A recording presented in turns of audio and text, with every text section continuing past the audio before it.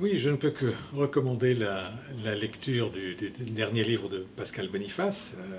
Requiem pour euh, le monde occidental, parce que je crois que c'est un ouvrage euh, bienvenu, très accessible, utile. D'abord, il, règle leur compte à un certain nombre d'idées reçues sur l'occidentalisme, euh, il se base sur des faits concrets, avec y compris des, références, des citations euh, très parlantes. Et puis, il est très accessible. C'est un outil pédagogique que j'ai pour ma part beaucoup apprécié. Par exemple, sur la question justement de cet occidentalisme, c'est-à-dire euh, cette déformation de la pensée qui fait confondre à, ceux qui succombent à, ce, mode de réflexion euh, le, monde occidental et la communauté internationale, ce qui n'est pas la même chose, qui euh, ont une certaine propension à faire la leçon au monde entier, qui ont tendance à s'inscrire dans un carcan, carcan occidental, et donc à s'interdire en quelque sorte de voir librement le monde dans sa différence et dans son, sa réalité nécessairement et même de plus en plus plurielle. Donc, euh, à cet égard, je pense que les éclairages donnés par le livre sont, très utiles à, connaître parce que cet occidentalisme a des répercussions, pas seulement politiques, avec le, deux poids deux mesures, qui est une pratique qui nous fait beaucoup de mal, euh, mais aussi il y a des conséquences stratégiques beaucoup plus graves, comme par exemple les, tensions internationales, notamment les problèmes de sécurité européenne. Pourquoi? Par exemple, et là, aussi c'est un autre euh, passage, une série de passages du livre que j'ai particulièrement apprécié, tout ce qui concerne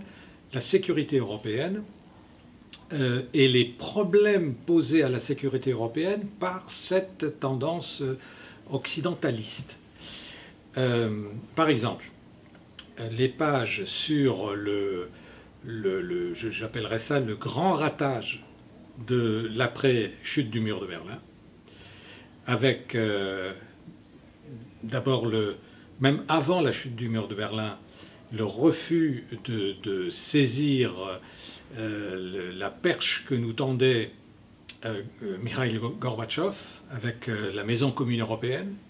qui a été largement méprisée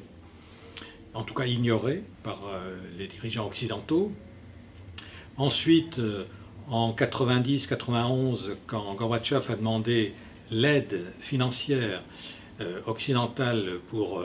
tenter de,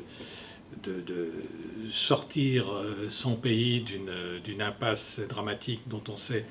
à quoi ça a conduit, là aussi le G7 l'a littéralement rejeté, puisqu'il préférait son euh, potentiel successeur, Yeltsin, euh, à, cet homme euh, remarquable qu'était Gorbatchev. Et, et, ensuite, il y a eu de la part d'un certain nombre de personnages occidentaux de, de, grandes responsabilités, des engagements pris contre le, l'extension de l'OTAN, l'élargissement de l'OTAN, engagements qui n'ont pas été tenus. C'était des engagements oraux, certes, mais formels, très clairs, catégoriques, qui n'ont pas été tenus. Euh, avec toutes les conséquences que d'ailleurs un certain nombre de dirigeants américains ont reconnues, y compris des dirigeants américains qui étaient plutôt euh, des, hommes de la guerre froide, et néanmoins, ils ont reconnu que c'était une erreur d'avoir... Euh, élargi l'OTAN jusqu'aux frontières euh, de, la Russie, que ça allait euh, provoquer une, sorte d'humiliation et donc une, réaction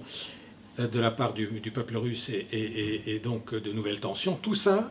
ça fait partie de, de ce que le livre appelle avec raison l'occidentalisme. Et ça a continué après la chute de l'Union soviétique avec euh, le, gouvernement russe actuel, dont on peut penser ce qu'on veut par ailleurs, ce n'est pas le sujet. Mais par exemple, le fait qu'en 2008, quand le président Medvedev, à l'époque, avait à Berlin proposé formellement l'Union européenne d'ouvrir des négociations sur un, traité pan-européen de sécurité, ce qui est exactement ce qu'il nous faut, une sorte d'Helsinki 2, euh, l'Union européenne a, boudé cette proposition. Il n'y a même pas eu une seule réponse officielle, diplomatique, à cette proposition d'envergure. Donc tout ça, c'est un peu les, conséquences ultimes de cet enfermement dans le, carcan occidental. Voilà, on est entre nous, et tout ce qui est à l'extérieur, soit nous obéit, euh, euh, respecte nos valeurs, qui sont nécessairement des valeurs universelles. Et donc le fait de traiter ces questions de façon extrêmement factuelle, précise euh, et pédagogique, je pense que c'est une des grandes qualités de ce livre que je ne peux que recommander à qui s'intéresse aux questions de politique internationale, de relations internationales et, de, sécurité internationale euh, de nos jours.